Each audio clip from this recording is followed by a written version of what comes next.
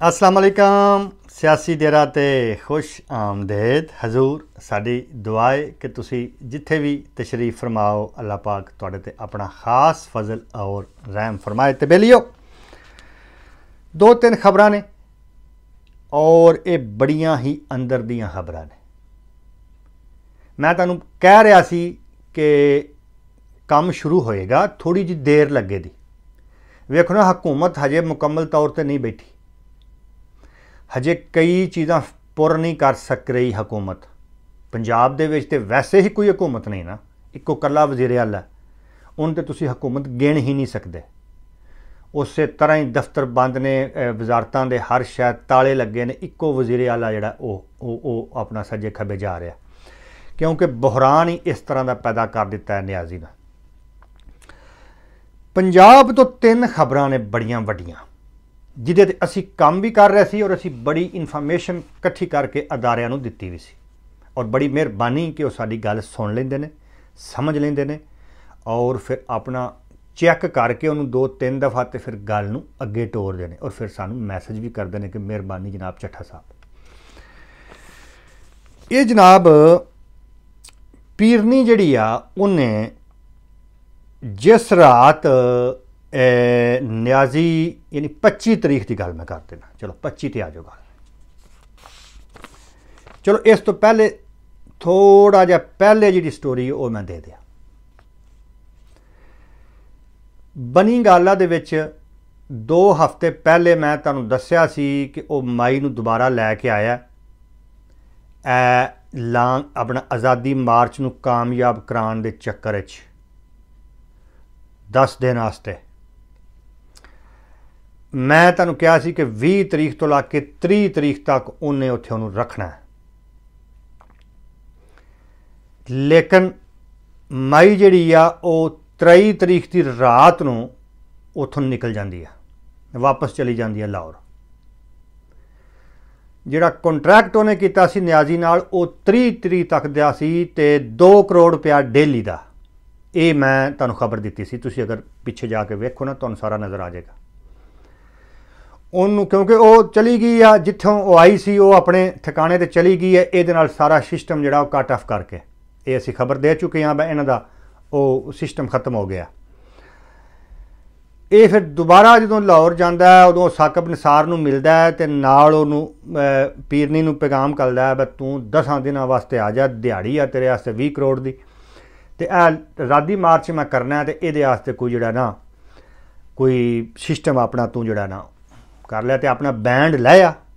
ਕਿਉਂਕਿ ਪੀਰਨੀ ਦਾ ਵੀ ਤਾਂ ਬੈਂਡ ਹੈ ਨਾ। ਟੂਣਾ ਬੈਂਡ ਮੈਂ 20 25 ਆਪਣੇ ਮੋਕਲ ਵੀ ਨਾਲ ਰਹੇ ਆ, ਗੱਡੀਆਂ ਜਿਹੜੀਆਂ ਤੇਰੇ ਕੋਲ ਨੇ ਇਹ ਵੀ ਲੈ ਆ ਤੇ ਉੱਥੇ ਜਾ ਕੇ ਆਪਣਾ ਵਿਛਾ ਲਓ ਸਾਰਾ ਕੁਝ ਤੇ ਜੋ ਕਰਦੇ ਹੋ ਤੁਸੀਂ ਉਹ ਕਰਕੇ ਤੇ ਇਹ ਮਾਰਚ ਕਾਮਯਾਬ ਕਰਾਓ।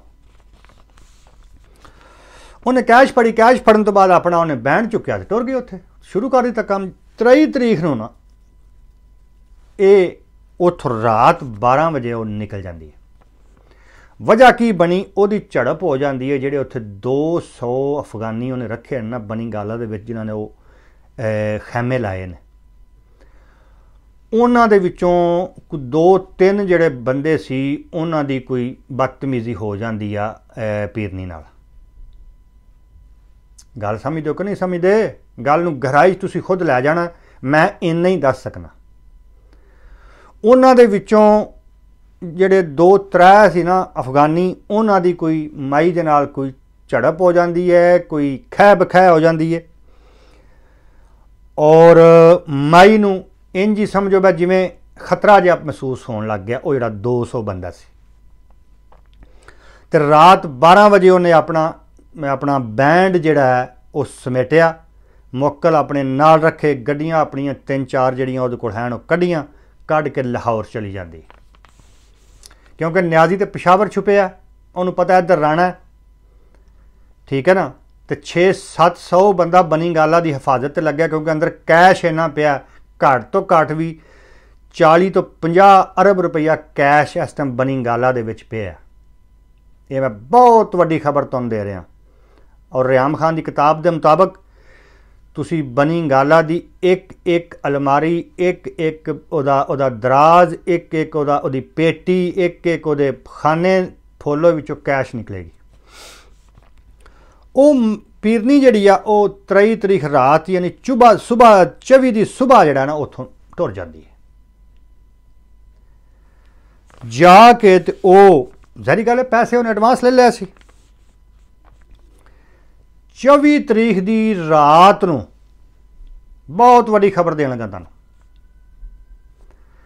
24 ਨੂੰ ਵਾਪਸ ਲਾਹੌਰ ਚਲੀ ਜਾਂਦੀ ਹੈ। ਦੁਪਹਿਰ ਨੂੰ ਉਹਨੂੰ ਪਤਾ ਲੱਗਦਾ ਹੈ ਕਿ ਸਾਡੇ ਖਿਲਾਫ ਅੱਜ ਤੋਂ ਇੱਕ ਹਫ਼ਤਾ ਬਾਅਦ ਨੈਬ ਐਂਟੀ ਕਰਪਸ਼ਨ ਔਰ ਜਿਹੜੇ ਦੂਸਰੇ ਇਦਾਰੇ ਨੇ, ਉਹਨਾਂ ਨੇ ਇਨਕੁਆਇਰੀ ਸ਼ੁਰੂ ਕਰਨੀ ਹੈ। ਫਾਈਲਾਂ ਤਿਆਰ ਹੋ ਗਈਆਂ। 700 ਅਰਬ ਰੁਪਈਆ ਪੀਰਨੀ ਦੇ ਜ਼ਿੰਮੇ ਲੱਗਦਾ ਪੀਰਨੀ ਔਰ ਉਹਦੇ ਖਾਨਦਾਨ ਦੇ ਜ਼ਿਮੇ। ਛੋਟੀ ਜੀ ਰਕਮ ਹੈ ਯਾਰ, ਇਹ ਕਿਹੜੀ ਕੋ ਵੱਡੀ ਰਕਮ ਹੈ? ਮਤਲਬ, ਉਹ ਉਹਨੂੰ ਕਿਸੇ ਪੁੱਛਿਆ ਨਾ ਬਈ 700 ਅਰਬ ਹੁੰਦਾ ਕਿ ਪਤਾ ਨਹੀਂ ਕਿੰਨੇ 100 ਅਰਬ ਤੇ ਬਣੀ ਗੱਲ ਹੈ, ਚ ਪਿਆ ਕੈਸ਼ ਚ ਤੇ ਜੇ ਮੈਂ ਤੇ ਮੇਰੇ ਮੁੰਡਿਆਂ 700 ਖਾ ਲਿਆ 700 ਅਰਬ ਤੇ ਸਾਡੀ ਕੁਰਬਾਨੀ ਤੁਸੀਂ ਨਹੀਂ ਵੇਂਦੇ ਕਿੱਡੀ ਵੱਡੀ ਹੈ? ਤੁਸੀਂ ਕੁਰਬਾਨੀ ਦਾ ਲੈਵਲ ਚੈੱਕ ਕਰੋ ਨਾ ਭਾਈ ਜਾਨ। ਉਹਨੂੰ ਜਦੋਂ ਪਤਾ ਲੱਗਦਾ ਨਾ 24 ਤਰੀਕ ਦੁਪਹਿਰ ਨੂੰ ਕਿ ਇਹ ਤਿੰਨ ਚਾਰ ਮਹਿਕਮੇ ਜਿਹੜੇ ਨੇ, ਉਹਨਾਂ ਨੇ 4-5 ਇਨਕੁਆਇਰੀਆਂ ਜਿਹੜੀਆਂ ਉਹ ਸ਼ੁਰੂ ਕੀਤੀਆਂ ਤੇ ਹੋਣ ਹੋਣੀ ਗ੍ਰਿਫਤਾਰੀ। ਸਵਾਲ ਜਵਾਬ ਹੋ ਚੁੱਕੇ ਸੀ ਬੜੀ ਖਮੋਸ਼ੀ ਦੇ ਨਾਲ ਕੰਮ ਹੋ ਰਿਹਾ ਸੀ। ਸਵਾਲਨਾਮਾ ਨਹੀਂ ਜਿਹੜਾ ਹੁੰਦਾ। ਸਵਾਲਨਾਮਾ ਫਿਰ ਮੁਤਮਿਨ ਨਹੀਂ ਕਰ ਸਕਿਆ 73 ਬੈਂਕ ਅਕਾਊਂਟ ਨਿਕਲ ਆਏ ਪੀਰਨੀ ਦੇ। ਉਹਨਾਂ ਆਖਿਆ, ਐ ਇਹਨਾਂ ਦੇ 73 ਬੈਂਕ ਅਕਾਊਂਟ ਨੇ ਆ ਪੈਸਾ ਕਿੱਥੋਂ ਆਇਆ ਇਹਦਾ? ਕਾਰੋਬਾਰ ਦੱਸ? ਉਹ ਕਿਹੜੀਆਂ ਮਿੱਲਾਂ ਨੇ, ਕਿਹੜੀਆਂ ਫੈਕਟਰੀਆਂ ਨੇ, ਕਿਹੜੇ ਤੂੰ ਠੇਕੇ ਤੇ ਕੀ ਚੱਕਰ ਹੈ ਉਹਦਾ ਕਹ ਮੇਰੇ ਕੋਲ ਕੋਈ ਜਵਾਬ ਨਹੀਂ। ਜਾ ਕੇ ਬਣੀ ਗੱਲਾਂ ਕੋਲ ਲਵੋ ਜਵਾਬ। ਮੇਰੇ ਹਾਲ ਦੁਬਾਰਾ ਨਹੀਂ ਆਣਾ ਇਹਨੂੰ ਹੁਣ ਪਤਾ ਲੱਗ ਗਿਆ ਵੀ ਇਹ ਹੁਣ ਹੋਣੀ ਹੈ ਗ੍ਰਿਫਤਾਰੀ। ਇਸ ਆਪਣੇ ਦੋਵੇਂ ਮੁੰਡੇ ਨਾਲ ਲਏ। ਮੈਂ ਤੁਹਾਨੂੰ ਦੱਸਿਆ ਸੀ ਨਾ ਬਟ ਡਨਮਾਰਕ ਦੇ ਵਿੱਚ ਇਹਨਾਂ ਨੇ ਪ੍ਰਾਪਰਟੀ ਖਰੀਦੀ ਹੈ। ਔਰ ਬੜੀ ਹਾਈ ਲੈਵਲ ਦੀਆਂ ਪ੍ਰਾਪਰਟੀਆਂ ਡਨਮਾਰਕ ਦੇ ਵਿੱਚ। ਹੈ, ਠੰਡਾ ਮੁਲਕ ਤੇ ਠੰਡਾ ਮੌਸਮ। ਜਿੱਥੇ 6 ਮਹੀਨੇ ਰਾਤ ਰਹਿੰਦੀ ਹੈ ਤੇ 6 ਮਹੀਨੇ ਦਿਨ ਰਹਿੰਦਾ ਫੁੱਲ ਮਾਹੌਲ ਦੇ ਮਿੱਠੇ ਚੌਲ ਨੇ ਭਾਈ ਡਨਮਾਰਕ 'ਚ ਉਹ ਸਰਕਾਰ ਜੀ, ਇਹਨਾਂ ਨੇ 24 ਦੀ ਰਾਤ ਨੂੰ ਨਾ ਲਾਹੌਰ 에ਅਰਪੋਰਟ ਤੋਂ ਉੱਡਣ ਦੀ ਕੋਸ਼ਿਸ਼ ਕੀਤੀ ਬਹੁਤ ਵੱਡੀ ਖਬਰ ਦੇ ਰਿਹਾ ਮੈਂ ਤੁਹਾਨੂੰ। ਜਦੋਂ ਗਏ ਨੇ ਨਾ ਤਰਾਵੇ 에ਅਰਪੋਰਟ ਤੇ ਸਾਰਾ ਸਿਸਟਮ ਕਾਰ ਕਰਾ ਕੇ ਪੈਸਾ ਟਗਾ ਵੀ ਕਿਧਰੇ ਲਾਇਆ ਹੋਵੇਗਾ ਅਫਸਰਾਂ ਅਫਸਰਾਂ ਨੂੰ ਬਸਾਂ ਨੂੰ ਕੱਢ ਦਿਆ ਜੇ। ਲੇਕਿਨ ਉਹਨਾਂ ਨੂੰ ਇਹ ਭੁੱਲ ਗਿਆ ਸੀ ਕਿ ਰਾਣਾ ਸਨਾਵਲਾ ਵਜ਼ੀਰ ਦਾਖਲਾ ਰਾਣੇ ਨੇ ਆਪਣਾ ਮੁੰਡਾ ਉੱਥੇ ਲਾ ਦਿੱਤਾ, ਵੱਡਾ ਜਿਹੜਾ ਅਫਸਰ, ਕਿ ਭਾਈ ਇਹ ਇਹ ਬੰਦੇ ਇਥੋਂ ਨਾ ਨਿਕਲਣ, ਜੋ ਮਰਜ਼ੀ ਹੋ ਜਾਏ, ਨਹੀਂ ਜਾ ਸਕਦੇ। ਉਹ ਗਏ ਨੇ ਜਦੋਂ ਚੈੱਕ ਇਨ ਕਰ, ਕੁਰ ਕੇ, ਸਮਾਨ ਸਮੂਨ ਬੁੱਕ ਕਰਾ ਕੇ ਜਦੋਂ ਅਗਾਂ ਗਿਆ ਨੇ ਜਿੱਥੋਂ ਐਂਟਰੀ ਹੋਣੀ ਹੈ, ਉਹਨੇ ਕਿਹਾ ਜੀ, ਆਓ ਰਸਤਾ ਵਾਪਸ ਚਲੇ ਜਾ ਉਹਨੇ ਕਿਹਾ ਜੀ, ਕਿਉਂ? ਉਹਨੇ ਕਿਹਾ ਸੀ ਆਂ ਬਟਨ ਦਬਾਣੇ ਆ ਗੁਰਾਣਾ ਸਨਾਉਲਾ ਦੀ ਫੋਟੋ ਆ ਜਾਂਦੀ। ਤੇ ਲਿਹਾਜ਼ਾ ਤੁਸੀਂ ਨਹੀਂ ਜਾ ਸਕਦੇ। ਬਿਹਤਰ ਇਹ ਵੇ ਕਿ ਚੁੱਪ ਕਰਕੇ ਵਾਪਸ ਚਲੇ ਜਾਓ, ਜਿੱਥੋਂ ਆਇਓ ਇਸ ਤੋਂ ਪਹਿਲਾਂ ਅਸੀਂ ਰਾਣੇ ਨੂੰ ਟੈਲੀਫੋਨ ਕਰੀਏ। ਅਗਰ ਰਾਣੇ ਨੂੰ ਪਤਾ ਲੱਗ ਗਿਆ ਬਈ ਤੁਸੀਂ 에어ਪੋਰਟ ਦੀ ਹਦੂਦ ਦੇ ਵਿੱਚ ਹੋ, ਇਹ ਵਜ਼ਾਰਤ ਦਾਖਲਾ ਦੇ ਅੰਡਰ ਆਂਦਾ ਰਾਣੇ ਨੇ ਸਾਨੂੰ ਹੁਣੇ ਕਹਿਣਾ ਕਿ ਇਨ ਅਤਰਮਾਂ ਨੂੰ ਗ੍ਰਿਫਤਾਰ ਕਰ ਲੈ। ਤੇ ਬਿਹਤਰ ਇਹ ਹੀ ਮਾਇਆ ਨਿਕਲ ਜਾ। ਉਹਨੇ ਚੁੱਪ ਕਰਕੇ ਪੱਲਾ ਝਾੜਿਆ, ਉਹ ਗਈ। ਉਹ ਵਾਪਸ ਇਸ ਟਾਈਮ ਜਿਹੜਾ ਉਹ ਪਾਕ ਪਤਨ ਦੇ ਵਿੱਚ ਜਾ ਕੇ ਉਹਨੇ ਡੇਰੇ ਲਾ ਲਿਆ ਠੀਕ ਹੈ ਨਾ ਜੀ? ਔਰ ਇਹਦੇ ਨਾਲ ਤੁਸੀਂ, ਮੈਂ ਤੁਹਾਨੂੰ ਦੱਸਿਆ, ਬੁਜ਼ਦਾਰ ਬੁਜ਼ਦਾਰ ਦੀਆਂ ਦੋ ਹੈਗੀਆਂ ਬੀਬੀਆਂ। ਇਹ ਵੀ ਬਹੁਤ ਵੱਡੀ ਖਬਰ ਤੁਹਾਨੂੰ ਦੇ ਰਿਹਾ। ਇੱਕ ਬੀਬੀ ਉਹਦੀ ਜਿਹੜੀ ਪਿੱਛੇ ਪਿੰਡ ਰਹਿੰਦੀ ਹੈ ਇੱਕ ਜਿਹੜੀ ਉਹਦੀ ਬੀਬੀ ਆ, ਉਹ ਮਾਈ ਗੋਗੀ ਔਰ ਇਹਦੀ ਬੁਜ਼ਦਾਰ ਦੀ ਜਿਹੜੀ ਬੀਬੀ ਆ ਸੇਲੀਆਂ ਪਿਛਲੇ 30 ਸਾਲ ਤੋਂ। ਉਹ ਜਿਹੜੀ ਮੈਂ ਤੁਹਾਨੂੰ ਜੇਲ ਰੋਡ ਵਾਲੀ ਗੱਲ ਨਹੀਂ ਦੱਸਿਆ ਬਾ ਜੇਲ ਰੋਡ ਤੇ ਇੱਕ ਫਲੈਟ ਹੁੰਦਾ ਸੀ। ਉੱਥੇ 6 7 ਟਾਪ ਕਲਾਸ ਸਿਸਟਮ ਹੁੰਦਾ ਸੀ। ਉਹ ਜਿਹੜਾ 6 7 ਦਾ ਟਾਪ ਕਲਾਸ ਸਿਸਟਮ ਸੀ ਨਾ, ਉਹਦੇ ਵਿੱਚੋਂ ਇੱਕ ਉਹ ਹੈ ਬੁਜ਼ਦਾਰ ਵਾਲੀ ਗੇਮ।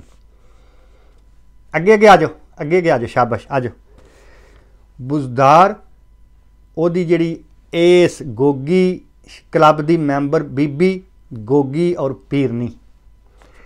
ਇਹਨਾਂ ਦੇ ਖਿਲਾਫ ਕੋਈ 11 12 ਇਨਕੁਆਇਰੀਆਂ ਸ਼ੁਰੂ ਹੋ ਗਈਆਂ।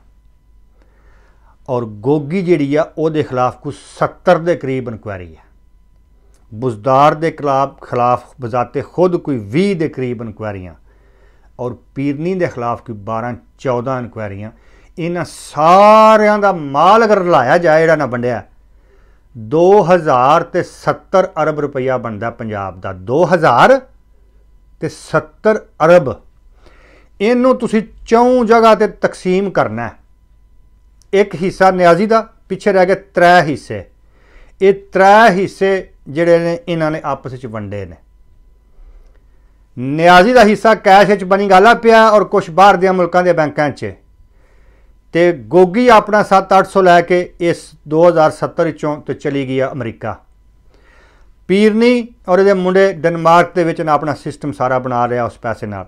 ਤੇ ਬੁਜ਼ਦਾਰ ਨੇ ਜਿਹੜਾ ਆਪਣਾ ਬੁਜ਼ਦਾਰ ਦਾ ਹਿੱਸਾ ਸੀ 3-400 ਅਰਬ ਉਹਦੀ ਸਾਰੀ ਕੁਛ ਪ੍ਰਾਪਰਟੀ ਨੇ ਲਾਹੌਰ 'ਚ ਖਰੀਦੀ ਹੈ 5000 ਏਕੜ ਜ਼ਮੀਨ ਇਹਨੇ ਤੌਂਸਾ ਦੇ ਕਰੀਬ ਖਰੀਦੀ ਹੈ ਦੋ ਸੀਮਟ ਦੀਆਂ ਫੈਕਟਰੀਆਂ ਇਹਨੇ ਉਹ ਸਾਊਥ ਪੰਜਾਬ ਵਿੱਚ ਲਾਈਆਂ ਨੇ।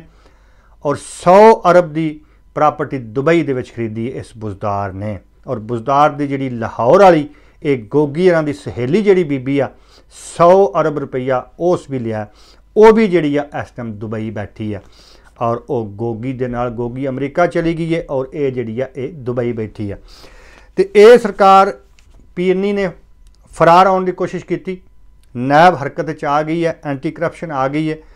ਬੁਜ਼ਦਾਰ, ਗੋਗੀ ਔਰ ਪੀਰਨੀ ਇਹਨਾਂ ਸਾਰਿਆਂ ਦੇ ਖਿਲਾਫ ਕੇਸਸ ਜਿਹੜੇ ਨੇ, ਉਹਦੀਆਂ ਇਨਕੁਆਇਰੀਆਂ ਸ਼ੁਰੂ ਹੋ ਚੁੱਕੀਆਂ ਔਰ ਪੀਰਨੀ ਦਾ ਖਾਨਦਾਨ ਜਿਹੜਾ ਸਿਰਫ 700 ਅਰਬ ਰੁਪਈਆ ਸਿੱਕਾ ਰਾਜੁਲ ਵਕਤ ਉਹਨਾਂ ਨੇ ਕੜਾਂਚੂ ਕਰਕੇ ਤੇ ਬਾਹਰ ਠੰਡੇ ਮੁਲਕ ਜਿਹੜਾ ਉਹ ਪਹੁੰਚਾਇਆ। ਤੇ ਮੈਨੂੰ ਲੱਗਦਾ ਕਿ ਹਕੂਮਤ ਜਿਹੜੀ ਹੈ, ਜਿਵੇਂ ਹੀ ਆਪਣੇ ਪੰਜੇ ਜਮਾਲੇ ਦੀ, ਜਿਸ ਦਿਨ ਪੰਜਾਬ ਹਕੂਮਤ ਦੀ ਕਾਬੀਨਾ ਨੇ ਹਲਫ ਉਠਾ ਲਿਆ ਹਮਜ਼ਾ ਦੀ ਕਬੀਨਾ ਨੇ ਹਲਫ ਉਠਾ ਲਿਆ। ਉਸ ਤੋਂ ਬਾਅਦ ਫਿਰ ਤੁਸੀਂ ਵੇਖਿਆ ਜੇ ਕਿ ਕਿਵੇਂ ਨੇੜੇ ਆ ਨੇੜੇ ਆ ਹੋਏਗਾ। ਬਹੁਤ ਸ਼ੁਕਰੀਆ।